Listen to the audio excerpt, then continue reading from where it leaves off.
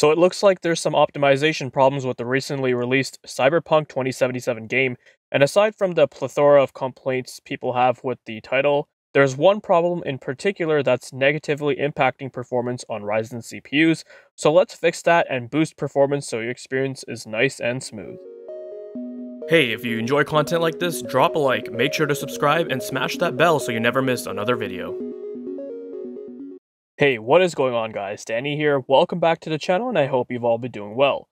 In this video, we're going to be taking a look at an optimization tweak that you can apply to your gaming system to help boost performance in the popular Cyberpunk 2077 title. Now this tweak will only work on Ryzen CPUs as this game seems to have a particular problem with allocating the workload evenly across multiple threads. You see, the issue is that for some reason on AMD Ryzen CPUs, the game seems to ignore SMT and not evenly make use of all threads available to it. Instead, it seems to be just focusing on the physical cores themselves, and this can result in higher latency, which therefore leads to lower performance. I uploaded a video yesterday showcasing some gameplay of the game running on an RTX 3080 with an AMD Ryzen 7 3800 XT 8 core 16 thread processor. And if you guys take a look at the on screen display from RivaTuner statistics and pay attention to the thread utilization, you'll notice that every other thread is barely being used. So, for example, you can see thread 1 having fairly high utilization. You can see it bouncing around anywhere from 70 to 95%. With thread 3, it's the same thing, thread 5 and thread 7 also behaving similarly. However, if you take a look at threads 2, 4, 6, and so on, you'll notice that those threads are barely being utilized, with usage being reported in the single digits, and maybe sometimes it goes into the 20s. Now, opening up Task Manager gives us a much better visual as to what's going on, and like I mentioned earlier, here you can see that not all threads are being used equally. There's some really odd behavior going on where the first thread or physical core is being used, then the one after that, which is the logical core, isn't being used. Then the third one, which would also be a physical core, is being used as it should, then the fourth one, which is a logical core, isn't. So essentially, this is causing a negative impact on performance if you have a Ryzen system. And if you've noticed some odd behavior with the game when it comes to performance, such as low performance, stutters, lower minimum FPS, then this could be the result of that. Now, giving credit where credit is due, a user on the AMD subreddit by the name of BramblexD brought this to everyone's attention, where they mentioned that the game was ignoring SMT on AMD Ryzen CPUs.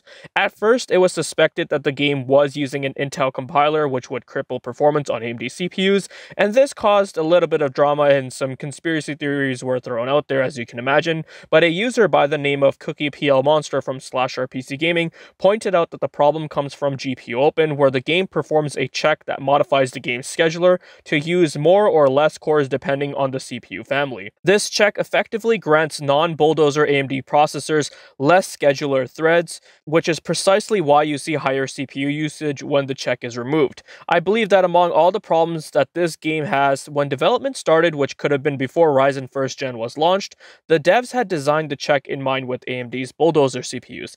And you guys can probably guess why that might be an issue, as with Bulldozer, AMD first touted its multi-core design where a CPU like the 8350 had 8 cores, when in actuality it had 4 cores with just uh, 2 integer units. Whereas with Ryzen, the design is completely different and has true SMT, so the game maybe is applying the same logic to all AMD CPUs, thus causing adverse effects and ignoring SMT. Now that's just a hypothesis, I'm not saying that's definitely the problem, but it could be a possibility.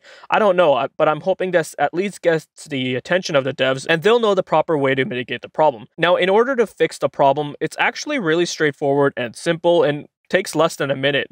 All you really need to do is use a hex editor software, open up the game's exe file, and literally edit one line, and that's pretty much it to prevent the game from doing the check and telling it to ignore SMT on AMD Ryzen CPUs.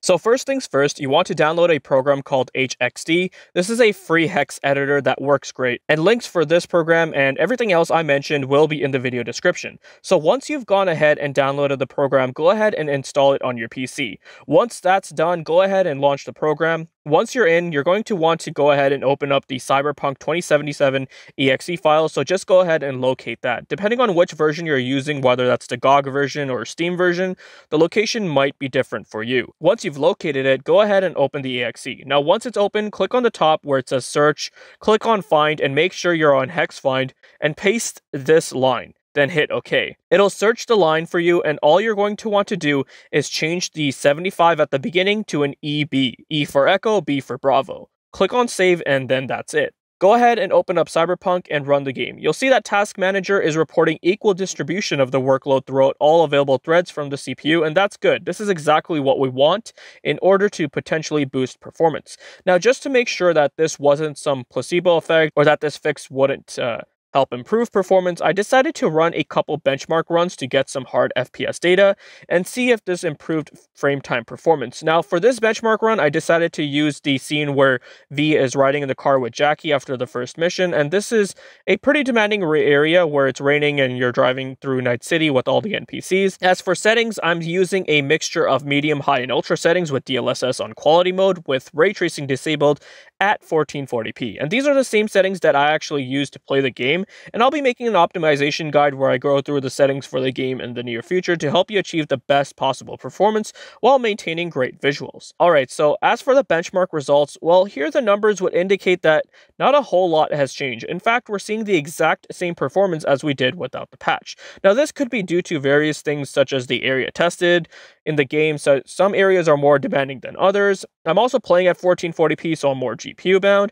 And also, while many users were reporting that they saw a performance increase, there were also many who didn't see much of a performance boost. This is definitely one of those your mileage may vary scenarios, as it might depend on other factors such as your system specs, game settings, and what other background processes could be affecting your performance. I've also played this game on both my test bench that has a Ryzen 7 3800 XT and an RTX 3080, and on my own personal rig, which has a Ryzen 9 3900X and a RTX 2080 that's water cooled and overclocked.